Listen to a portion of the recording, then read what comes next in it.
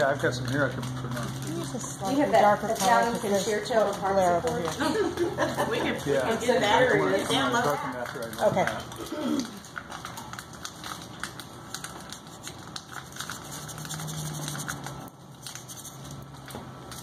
My son's a music composer, so that's it's cool. fun because our language sometimes is almost the same. Just- yeah.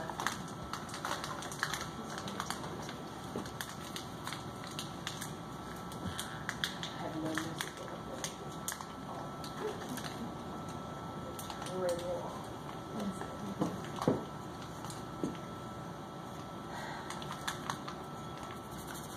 Oh, so another photo.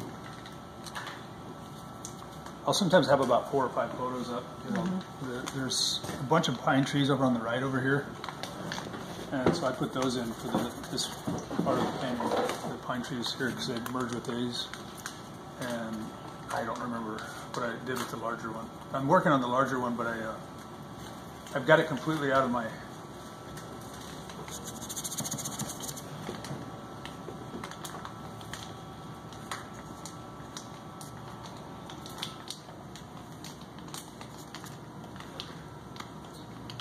a little stronger angle here than there.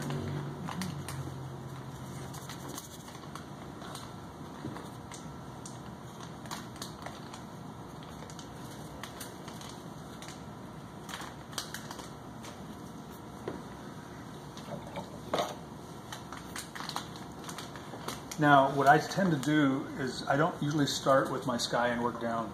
Uh, usually paint my sky in, like in something like this, my key, my sky could dictate my foreground, so I don't necessarily want that to happen. So I'm going to start with where I want my most interest, and that is in the background, where the trees and everything converge. So I want to get this part. Kind of a point of interest to you? Yeah, the area that has the, the area of interest more. Um, I'm going to start with that.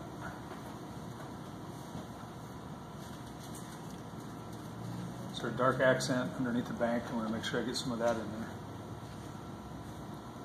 So I can see where I'm going. You start with the area of most interest and let that dictate what you do.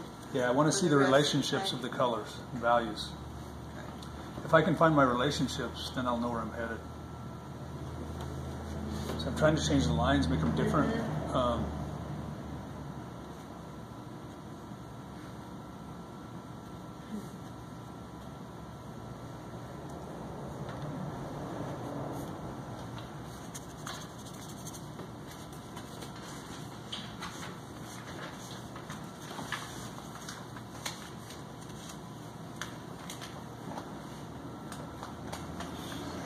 so far I've got a shadow of the trees and a dark accent in there. Um, I'm not saying I can't do more of everything, but what I'm trying to do is stay on track with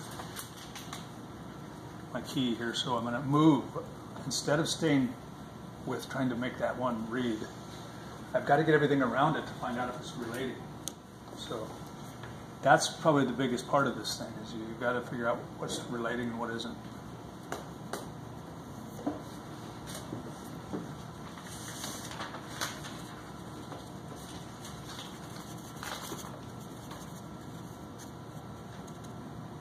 Have glare over there. Or do you have glare over there? No.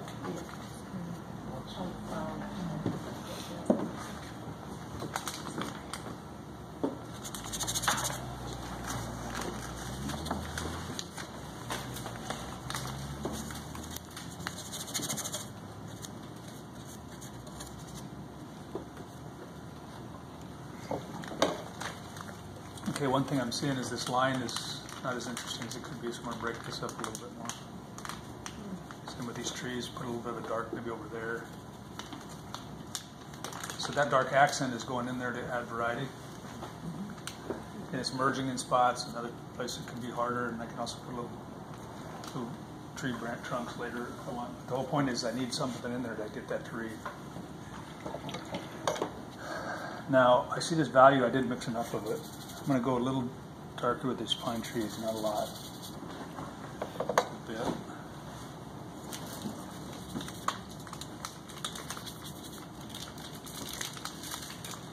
So the pine trees on this side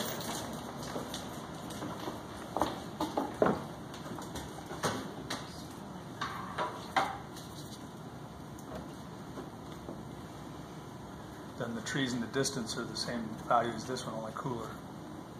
Put a little of this cool in with that orange, and that's going to be the color of the value, or the value back behind with the trees, maybe. I'm going to take the value, of the light of the tree, so I'm going to darken it just slightly. Put that one back in here, just it's a little bit darker than this one. Doesn't actually show yet, so I'm going to darken it again.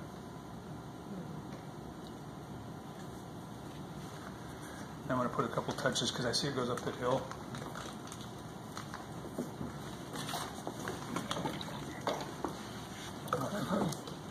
Thank you. Get water in there? Yeah. Thank you.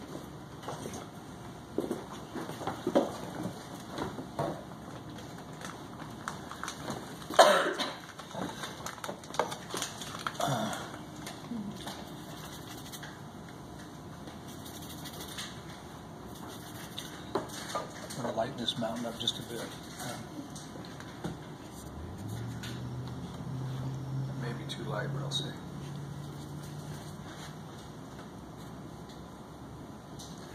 You know, one thing I will, I will do out there is I won't try to keep up with that whole topography thing. If I'm, especially if I'm really trying to find my key, I'm more interested in. I mean, I want variety in it for sure. But if I'm feeling like I'm struggling with the drawing of that thing, I'll let that go sometimes. Because you gotta, you, there's so much to think about that you can get too caught up in a line that you, mm-hmm. you want more variety in the line than anything. But I want to, I can get the topography later. Mm-hmm. And it's not because I don't, it's because I'm too lazy. I'm, I'm really concerned about the key.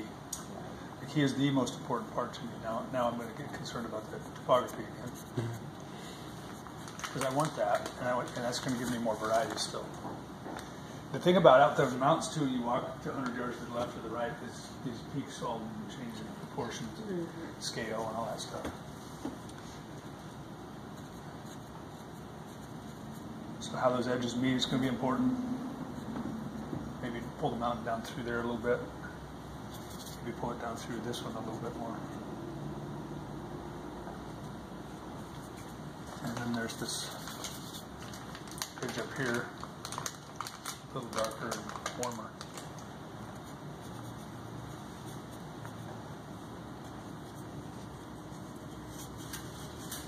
Now see where this height is? I can take this out here, but I don't want it to compete with the same, I don't want it to be the same all the way across. So it looks to me like it's going out the top, but I'm gonna take it just a little further up that. Keep it mostly in shadow. Then there's some pine trees in front of it. So I'm gonna gradually darken this to where it's almost the same value as these, this. It's almost the same value as the pine trees up front, but I'm gonna go just a slight bit bluer back here. Because uh, again, when the color starts dropping out, it goes toward red and then toward blue. So if I want a little more red in it, can have a little more red in it as well.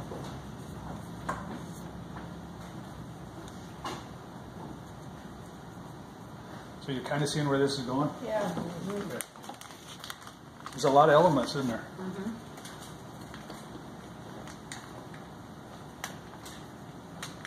And so if I want to make this interesting, see this whole line right here, I'm trying to find variety within this line and variety in this one. So I could put some trees coming out here. And that's going to suggest space right there, tiny little marks. And you know, no- nothing's really completely working or anything yet, but it's it's definitely starting to get some relationships in there. And you can see how quickly you're able to cover it. So the time, well, the, and the time spent mixing is going to save you, up, Yeah. um, give you more to work with.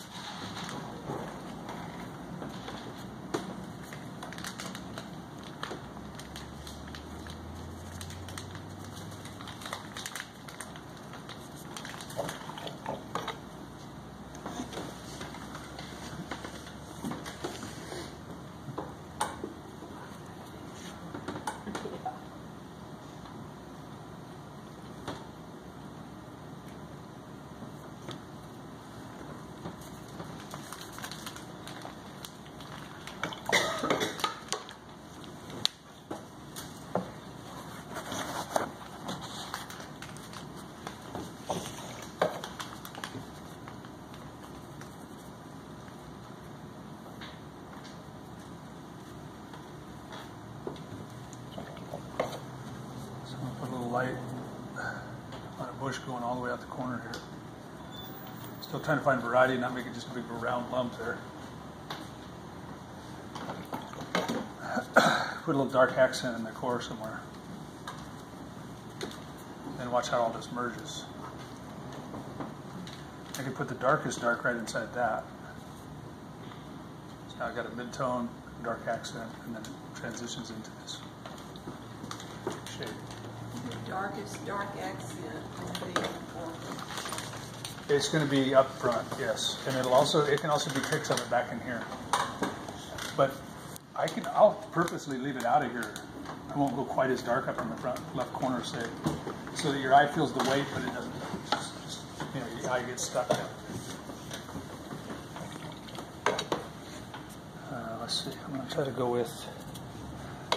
Oh, I'm going to go. I'm going to take this value in this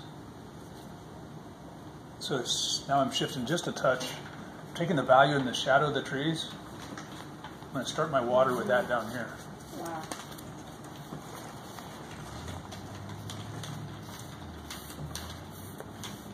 It's not always going to solve everything, for sure. It sets that water down, doesn't it? Then I'm going to start cooling it gradually as it goes back. I want to be able to see under that water later, but I'm not, not there yet.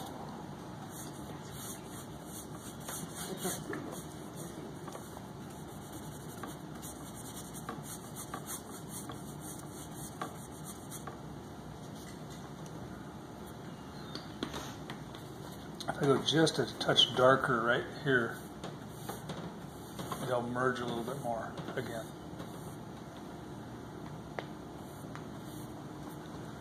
If you're going to paint something underwater, the dark accent, if you put the dark in the water underneath spots, you got to watch the edge of it because underneath it's got to be softer edge. But that's here or there right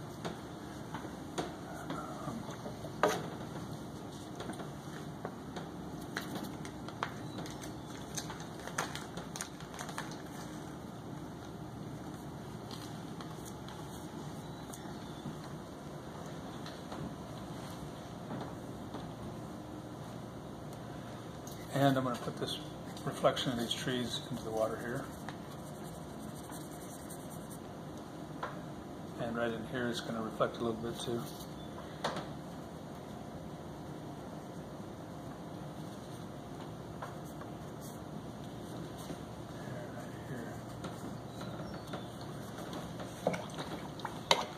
So now as I go back into these, on this river go a little cooler again, it's going to start picking up more of the sky. And down in here, if you see some blues on the water, they'll. I know that from standing here, when I look down, I like the richness as it comes up and gradually transitions. But when I, uh, if I'm trying to get this cooler value in the foreground here, those cools could be pretty much the same value as that orange, and they could. It's darker. You can move that through the water as well. So the whole point is I'm trying to find the ones that cools and bright. As I get toward the top, the sky will be influencing in the water a little bit more. So I can get almost the same values as the sky. Now, over here, when that reflection, you have the top plane on top of that reflection.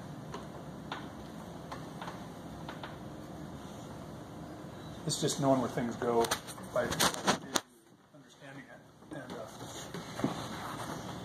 Wow. Oh, no. Yeah, this is where we need music, huh? Yeah. Um, What? so, like the sky now uh, and the beach thing. Let's do the let's do this rock bank here. I want this to be kind of a high key stone to it.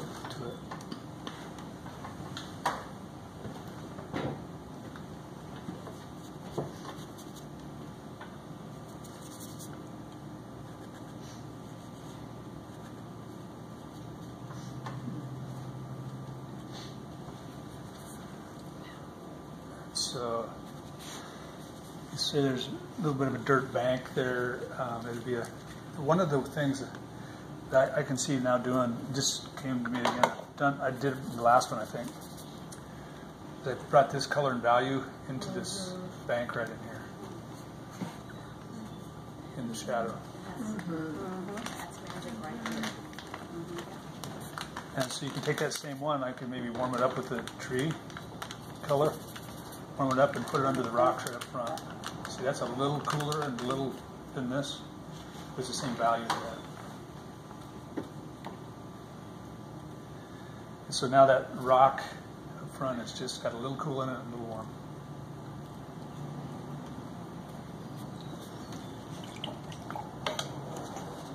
Uh, okay.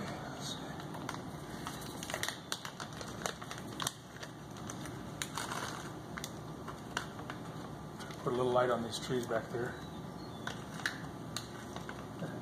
And so by doing that, I think if I could darken it a little bit more, pine trees, just a touch, I think I'll get a little more weight in there.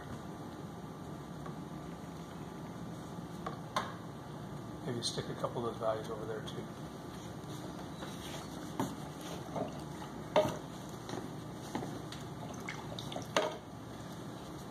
So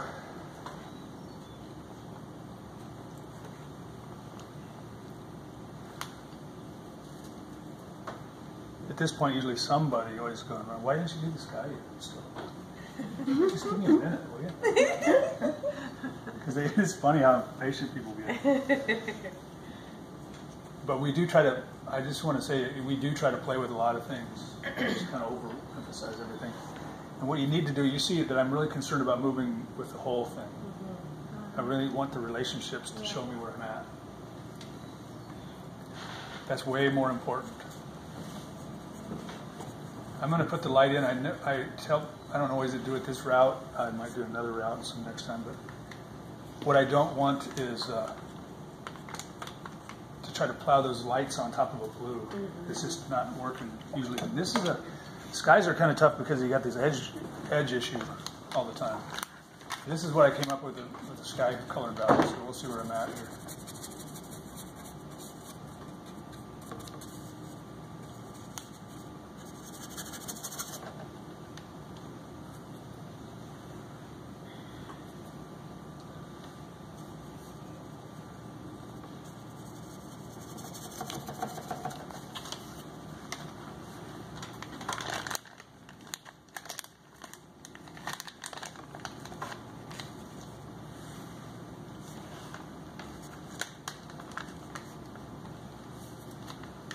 So I'm going to lighten the sky. Actually, I'm going to take a little of this light from my accent and lighten the sky just a little bit more underneath here.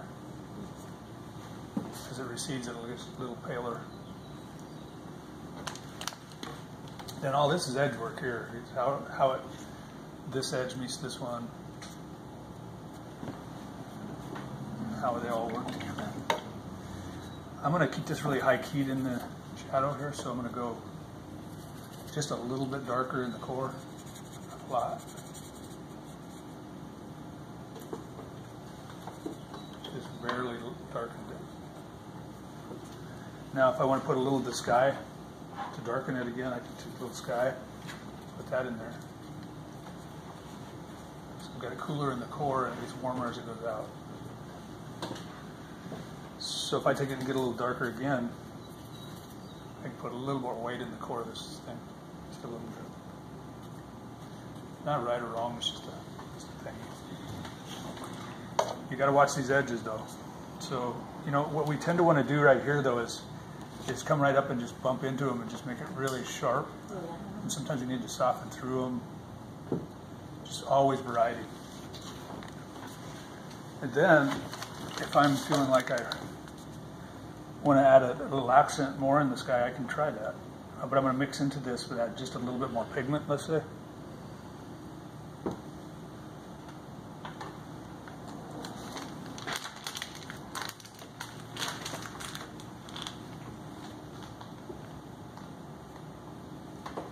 So if a little good, little good, more is better, right?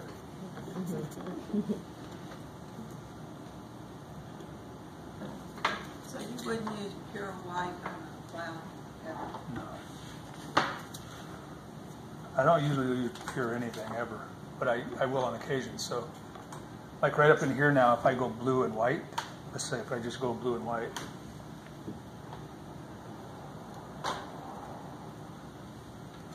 get a little richer right up in there, maybe the top. But I've got a neutral in it, so if I touch it, every time I touch it, it modifies a little bit more. And so it can handle it now because it, it's got a little bit of a relief to it.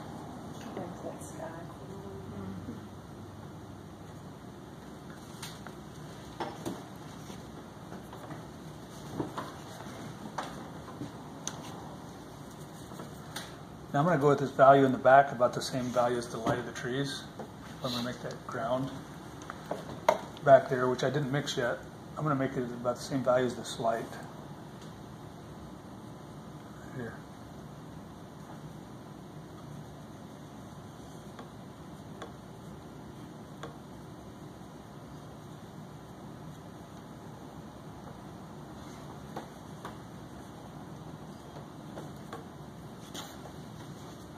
I'm going to darken it just a hair so that it recedes a little more. It's just a little, little too light to me. Redder. I'm going to go redder. I'm going to go a little darker and redder yeah. Just a bit though. So that the planes turn a little bit more. And if I go a little darker and redder again, I don't have to go a lot redder, but then at a certain point it's going to start going to the blues even. So then I can get up on this mountain here, put that light side to that if, I, if there happens to be light on it. Um, you can put it right here, there happens to be light. It's still darker than the sky.